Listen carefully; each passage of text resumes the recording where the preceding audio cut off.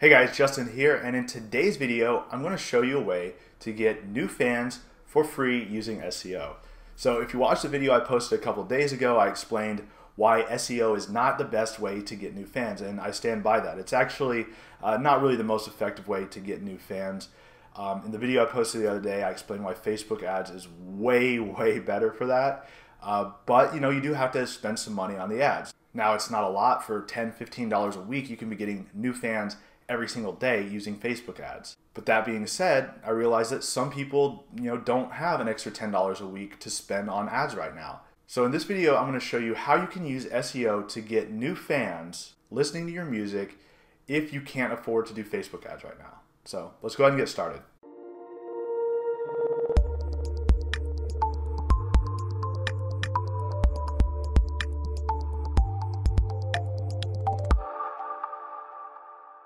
All right, so the other day I uploaded a video where I explained that I really don't think that SEO is the best way for you to get new fans as an artist. That's a question I get asked a lot. And the fact of the matter is that using paid advertising platforms like Facebook is a really a much better way to get your music in front of new fans if you know how to do it right. However, I do realize that some of you may be in a situation where you don't have any extra money right now to put into any kind of advertising, even if it is only 10 or $15 a week. So in this video, I'm going to show you a way that you can use SEO, search engine optimization, to get new fans, to get your music in front of people that have never heard of your music before. So the first thing you might be thinking is, all right, so if this video is about search engine optimization, what are we doing at YouTube? Shouldn't we be using Google for this? And the fact of the matter is that YouTube is actually the second largest, second most used search engine on the planet after Google. It gets used more than Yahoo, Bing, or any other search engine. And because of the nature of the type of content that we're going to be producing, the type of content that you'll be producing, it actually makes a lot more sense to use YouTube rather than Google because YouTube is not just a search engine, but it's also a platform where people go for entertainment. They go to watch movies, they go to watch, you know, web series, videos like this one, and people use YouTube to listen to music as well. So the method that I recommend using if you're trying to get your music in front of people that haven't heard of you before, that aren't going to be searching for you, but you want to utilize search engine optimization to get your music in front of people that haven't heard it before, I recommend that you do cover songs. Because the first thing that you need for search engine optimization to work is people actually searching for something.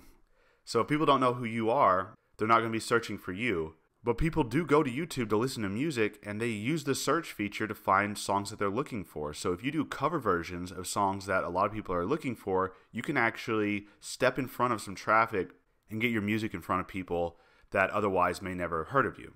So the first thing that you need to do is figure out what song you want to cover.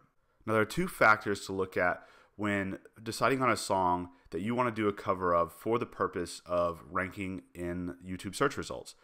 The first one is, well, are people searching for the song? So you don't want to do some obscure song that nobody's looking for. You want to do a song that a lot of people are searching frequently. And then ideally you want to choose a song that doesn't have a lot of competition. So if you choose a song that's really popular, that's been around for a long time, that's been around for you know years or decades, that's great because there's a lot of people probably searching for that song because it's a classic and a lot of people like it. But because it's been around so long, there's probably already a lot of competition, a lot of other videos ranking for that song. So the first thing that I would recommend that you do is go over to a music chart like iTunes Top 100 and find some new songs that are currently really popular that are currently getting a lot of searches, and pretty much anything that's on the iTunes Top 100 is probably getting searched quite a bit, at least enough for you to get some new fans. But also, you want to remember that you want to target songs that don't have too much competition because the more competition there is, the less likely it is that your video is going to get any views at all. So rather than just picking the most popular song that's on the iTunes Top 100 right now, um, at least at first when you're just getting started. Later on down the road, if your channel's already getting a lot of views, then you can do covers of songs that are really popular, that have been around for a long time, and you can still get some traction and you might be able to rank in search results. But when you're first getting started, I would recommend going down closer to the bottom of the iTunes Top 100 and finding songs that might be a little bit more obscure. Because they're on the iTunes Top 100, we know there's an audience for them. We know that people are actually searching for these songs but there's probably a little bit less competition than the songs at the top of the list. Now, you don't have to do it this way. You can still get traffic from songs that have been around for a long time. But remember, this is search engine optimization, SEO, search engine optimization. And what I'm trying to teach you here is how to optimize for the best results possible. So, this is what I recommend if you're looking for a way to get free traffic using SEO. I think that this is probably one of the uh, better approaches that you can take in terms of finding a song to do a cover of. Now, once you've chosen a song, you'll want to go over to YouTube and you'll upload your video. And let's say that we've chosen to do, maybe we'll scroll down a little bit here.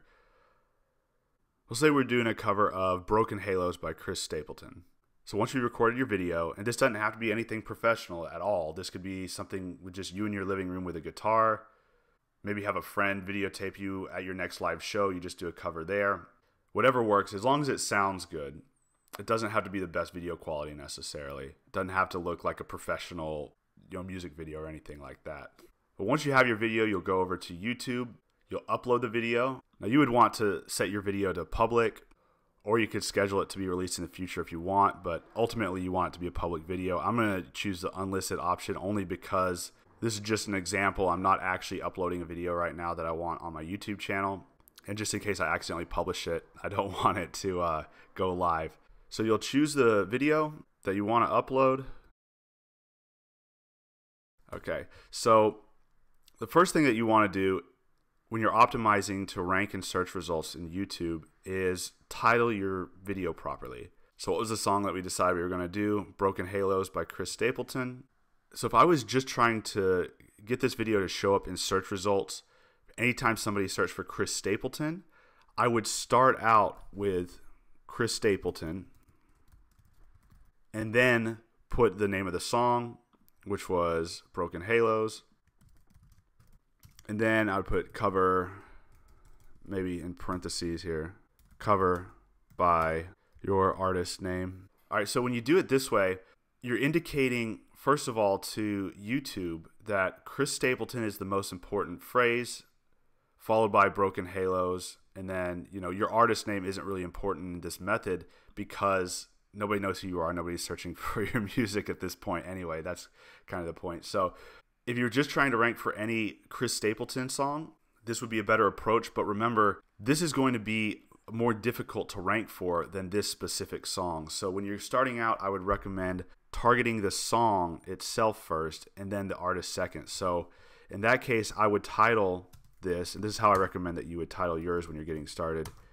Something like this. So you have the song name first, then the artist name, which is going to be harder for you to rank for, and then cover by and your name. And this is, you know, less important for two reasons. One, nobody's actually searching for you yet because they don't know who you are. Our target right now is people that haven't heard of you before, getting new fans. So they're not going to be searching for you. So it's okay to have this further back in the title. And also, you know, this is what people's eyes are going to see first. On uh, some mobile devices, this stuff might get cut off as well. So we want the most important information right up front the thing that people are searching for. We want them to see that so they're likely to actually click on the video and watch it. Next, in the description, you also want to use the keywords that you're targeting. So we want this video to show up when people type in Broken Halos or Broken Halos by Chris Stapleton. So we want to make sure that we have our keywords in the description as well. And the closer that you have those keywords towards the beginning of the description, the better.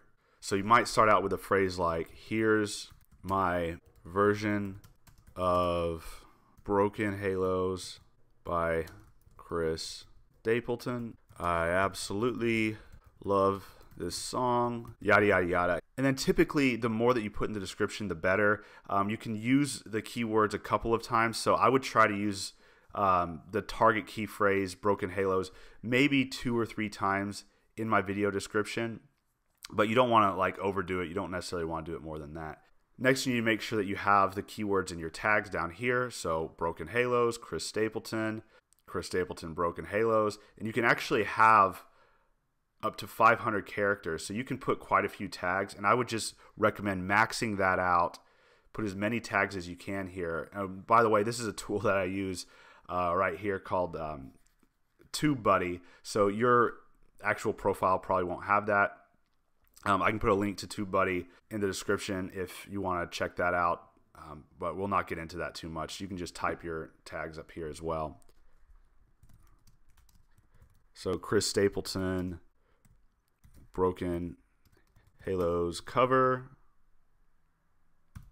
things like that. And then I would just add a bunch of tags, basically just uh, word, just phrases that you think people might be searching for to find this video, and I would just kind of max that out with as many tags as YouTube will let you do. All right, so those are the main things to remember to do when you're optimizing your videos to rank for search results. But there's another actually more important aspect to doing search engine optimization on YouTube than just using the right keywords. So there are kind of two parts of doing effective SEO on YouTube. One is what I just showed you, getting the right keywords in the right places. But the second part is engagement, right? So having the right keywords in the right places is essentially helping YouTube understand how to categorize your video. Like, what is the video about? That's what all this keyword stuff does. But the engagement on your video and the engagement on your channel are actually going to be more important signals when it comes to YouTube deciding whether it's going to be your version of Broken Halos by Chris Stapleton that shows up in their search results or somebody else's. And it makes a lot of sense when you think about it from YouTube's perspective, right? So, what is YouTube's goal? Like, YouTube wants more people on their website. Like, if YouTube had their way, they would have all 7 billion people on the planet on their website 24 hours a day, seven days a week. The more time people spend on their platform, the more ads they see. The more ads they see, the more money YouTube makes. So YouTube wants to have more people on their platform. They want to keep people on their platform as long as possible because that's how they make money. So choosing the right song, recording a good cover version of it, and then uploading it to YouTube and putting the right keywords in the right places is part of it. But you also want to make sure that people are actually watching your whole video, that they're staying on, uh, watching as much of the video as possible, and ideally staying on your channel. So let's quickly talk about a few of the things that YouTube's going to look at to determine if people are really engaged with your videos and if they like your videos. Because it, if people really like your videos and they're spending a lot of time watching the videos, and YouTube sees that you know you have a lot of engagement around your videos, they're going to be more likely to actually show up in search results. All right, so a lot of this stuff is kind of obvious. The more likes that you have, the better, right? Likes are a big indicator to YouTube that people actually like the content that you're posting. Uh, the comments, so the more comments that you get in the comment section, the better. The more interaction that's going on here, the better.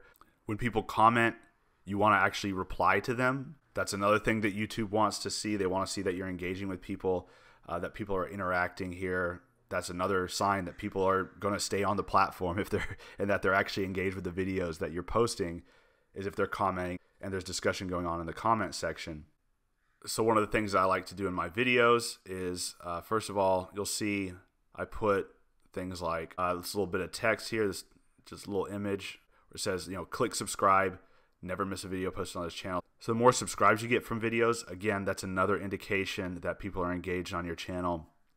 So uh, having these calls to action, like click uh, subscribe. All right, there's another one here. You know, click thumbs up below. Um, just you know, asking people and telling them like, hey, you know, if you're finding this helpful, uh, be sure to let me know. Give it a thumbs up below. Um, be sure to subscribe to the channel. All of those interactions are going to indicate to YouTube that people enjoy your content. It's going to help your stuff show up in search results. The uh, duration, how long people are watching for, the percentage, and the actual uh, amount of time, like the percentage of the video that people watch is huge. The amount of time that they spend watching the video, that's all uh, really important stuff. So you want to make sure that your videos are, you know, keeping people watching. And then another thing um, you'll see in most of my videos, at the end, I'll say something along the lines of, you know, if you enjoyed this video, please give it a thumbs up, comment in the comment section below. The same type of stuff that I'm putting in these call to actions like, like this right here, I actually verbalize towards the end of the video. Uh, so that's something that I recommend that you do. Um, and that's really easy to do if you know you're just sitting in your living room recording a cover version of you on your guitar, and then at the end you can you know you're basically making the video for YouTube. Um, in other situations, you know maybe you're recording an entire live performance and then cutting out the cover songs to upload to YouTube. Well, obviously, when you're standing on stage, you're not going to tell your audience, oh, be sure to click the thumbs up button below because they're not actually watching a video. They're watching a live performance of you. But you can always like record a separate video of you saying that at the end, saying, you know, thanks for watching this video.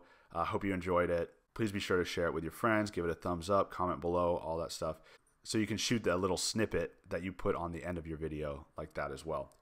I really love YouTube because not only is it a search engine where people can find your content because they're searching for it or searching for, you know, something similar like a song that you did a cover of, but there's also this recommendations right here. There's like recommendations down here on the sidebar, uh, recommended videos based on your interests and based on the videos that you've been watching.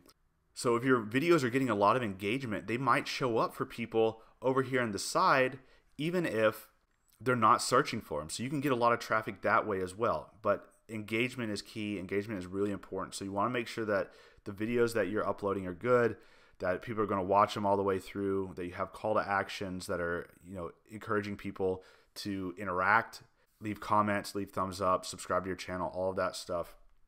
And that'll help you uh, to show up not only in search results, but also in the recommendations as well. And one last tip before we wrap up uh, when you do upload your video, you want to be sure to share it in other places as well immediately. So you want to kind of start to get the ball rolling because if YouTube sees a bunch of people coming from other places to your video as soon as you upload it, they're going to start to give you a little bit more love and that'll increase your chances of showing up in search results and in recommended videos. So I recommend, you know, posting to all your socials, posting a link, you know, on Facebook, Twitter, Instagram, Reddit, you know, send an email out to your email list. Anything that you can do to get people to your video as soon as it's released is really going to help your chances of getting additional free traffic from YouTube through their search feature or through recommended videos. All right, so that's what I recommend doing. That's kind of the approach that I recommend taking if you are looking to tap into some free traffic using search engine optimization uh, to get new fans to check out your music. All that being said, you know, there really is no guarantee that even if you do all of this stuff exactly right, there's really no guarantee that your video is going to show up in search results. There's not really any guarantee that you're going to get a lot of uh, new fans this way. You know, but if you are on a tight budget, uh, you definitely can. But it's not as much of a guarantee as like just simply running Facebook ads. Where like you know, if you're running five, spending five dollars a day on Facebook ads, you know you're getting multiple new fans every single day. Um, so if you do have a little bit of money to invest in running ads, it's not expensive. $10, $15 a week, you can be running Facebook ads um, and if you know how to do it right, you will be getting new fans every single day. That is something that I teach inside of my course, Music Promotion Machine. So if you're interested in learning more about that, go to musicpromotionmachine.com or click the link in the video description to get access to Music Promotion Machine right now. And if you have not already signed up to my email list, if you haven't already downloaded the Music Promotion Blueprint, there's a free ebook that I put together for you called the Music Promotion Blueprint, which is a proven strategy that you can follow to grow an audience online that's completely free. I'll link to that in the description as well. However, if you do want step by step video instruction on how to set up everything that I teach inside the music promotion blueprint, as well as some additional training like how to run Facebook ads effectively and how to get new fans signing up to your email list every day for pennies, check out Music Promotion Machine, musicpromotionmachine.com. And if you found this video helpful, please do share it with your friends.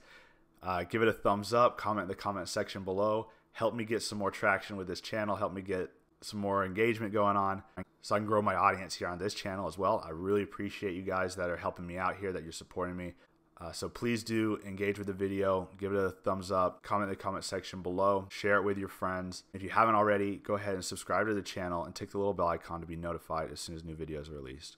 Thanks again for watching. I'll see you next time.